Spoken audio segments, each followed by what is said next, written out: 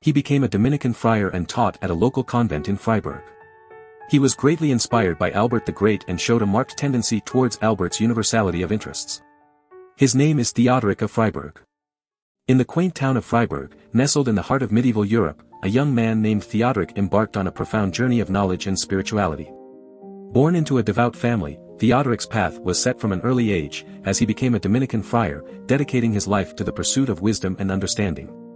Under the tutelage of the local convent, Theodoric delved deep into the teachings of philosophy, immersing himself in the vast ocean of knowledge that surrounded him. It was during this time that he discovered the teachings of the renowned philosopher Albert the Great, a figure whose influence would shape Theodoric's intellectual pursuits. Although it remains uncertain whether Theodoric directly studied under Albert, his profound admiration for the philosopher was evident. Theodoric's thirst for knowledge was unparalleled, as he exhibited a remarkable breadth of interests and a profound universality of thought, mirroring the very essence of Albert's teachings.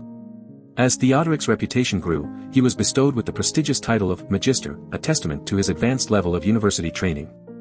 His intellectual prowess and deep understanding of various philosophical concepts made him a revered figure among his peers and students alike. Theodoric's story is a testament to the power of intellectual curiosity and the transformative nature of education. His unwavering dedication to the pursuit of knowledge paved the way for his remarkable contributions to philosophy, leaving an indelible mark on the medieval world and inspiring countless generations to come. Theodoric, a renowned philosopher from Freiberg, embarked on a transformative journey to Paris in the year 1272. Eager to expand his knowledge, he sought to study under the guidance of esteemed intellectuals in the vibrant city. Although the details of his time in Paris remain elusive, a book titled Treatise on the Intellect and the Intelligible, translated by M. L. Führer, shed some light on this period. In the second part of his treatise, Theodoric references a solemn master he encountered during his studies in Paris. Some speculate that this master may have been Henry of Ghent, known as Dr. Solemnis, by his students. However, it is uncertain whether Theodoric and Henry ever crossed paths or had any personal connection. After his initial stint in Paris, Theodoric returned to Germany before making his way back to the bustling city. It was during this time that he commenced his lectures on sentences in 1281. The exact duration of his stay in Paris remains unclear, but historical records indicate that he was appointed as the prior of the Dominican convent in Würzburg around 1293. Additionally, he assumed the role of provincial of Teutonia in the same year. Theodoric's scholarly endeavors continued to flourish, and he was bestowed with the prestigious title of Master of Theology in Paris around 1296. He joined the ranks of renowned German philosophers, such as Albertus Magnus, who had previously earned this esteemed distinction. Theodoric's intellectual pursuits were not confined to Paris alone, he actively participated in the general chapters of the Dominican order held in Toulouse and Piacenza. In 1310, Theodoric was appointed as the vicar provincial of Germany, further solidifying his influence and leadership within the Dominican order. However, the historical record becomes silent regarding his activities after this appointment, leaving a void in our knowledge of his later years. The career and early works of Theodoric of Freiberg's philosophy offer valuable insights that can be applied to our daily lives. His dedication to seeking knowledge and engaging in intellectual discourse serves as an inspiration to pursue lifelong learning. Theodoric's encounters with various scholars highlight the importance of collaboration and exchange of ideas in intellectual growth. Furthermore, Theodoric's journey from teaching in Freiberg to studying in Paris demonstrates the significance of exploration and stepping out of our comfort zones. By embracing new experiences, we open ourselves up to diverse perspectives and opportunities for personal and intellectual development. Theodoric's philosophy invites us to reflect on the value of lifelong learning, intellectual curiosity, and the power of intellectual connections. As we navigate the complexities of our modern world, his teachings remind us to remain open-minded, constantly question, and engage in critical thinking to better understand ourselves and the world around us.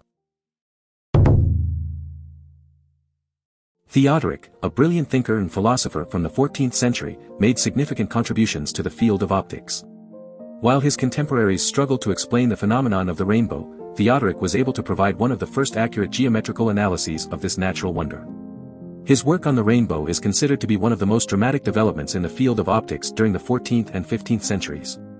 Drawing from his previous works on light and color, Theodoric wrote a seminal piece called De Iride et Radialibus Impressionibus. In this work, he relied on methods like geometry, experimentation, falsification, and more to explain various properties of light. He delved deep into the intricacies of the rainbow, shedding light on its formation and characteristics. To understand the behavior of light interacting with water droplets during rainfall, Theodoric conducted experiments using spherical flasks and glass globes filled with water. These early experiments laid the foundation for the development of experimental instrumentation, which would later be used for making measurements and extending human senses.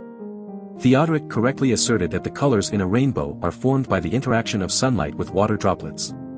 In recent times, scientists have discovered evidence of the experimental instruments used by Theodoric. These instruments, currently on loan to universities in Providence, Rhode Island, simulate a droplet of water reflecting and refracting sunlight, thus creating a rainbow.